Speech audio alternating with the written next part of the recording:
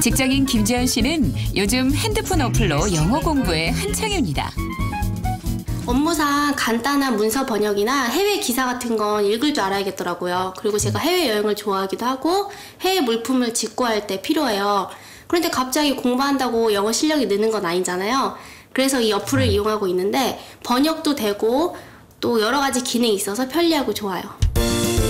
번역하고 싶은 영어나 한국어를 어플에 쓰거나 음성 인식을 사용하면 바로 번역이 돼 간편하게 사용 가능한데요. 보이고 들리는 모든 문자 통번역이 가능한 겁니다.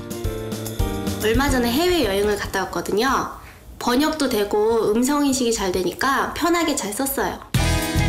영어뿐만 아니라 일본어, 중국어, 불어 등 세계 각국의 다양한 언어들도 번역이 가능해 활용도가 더욱 높습니다.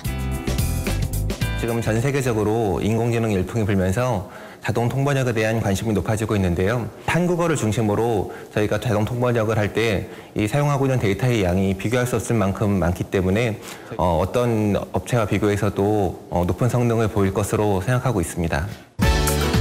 해외 출장이나 배낭여행을 앞둔 사람들에게 외국어에 대한 고민을 해결해주는 서비스로 주목받고 있는 번역 어플. 또한 낯선 해외에서 보다 쉽게 음식을 주문하고 길 안내 표지판도 읽을 수 있도록 문자 인식이 가능하도록 개발 중입니다. 또한 주변 소음과 사람의 목소리 구분이 가능해 시끄러운 야외에서도 사용하는데 불편함이 없습니다. 수준급의 음성 인식 기능과 번역 덕분에 2018 평창 동계올림픽에서 세계 각국의 언어 장벽을 낮추는 공식 지원 통번역 어플로도 선정되었습니다. 대전 유성구 국내 연구진이 개발한 영어 공부 프로그램 시연장인데요.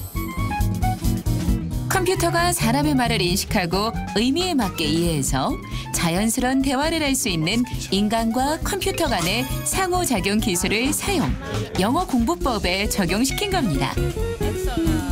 원어민이 없이 어, 영어 말하기 학습할 수 있는 그런 시스템이라고 할 수가 있겠고요.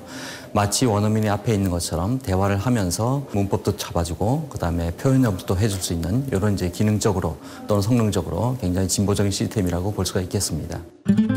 인공지능 기술 개발을 통해 어린이부터 성인까지 마치 원어민과 일대일로 대화하는 것처럼 영어를 배울 수 있습니다.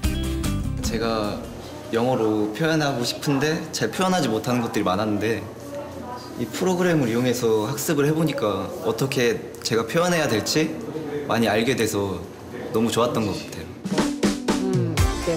한국인의 영어 발음에 최적화되어 있어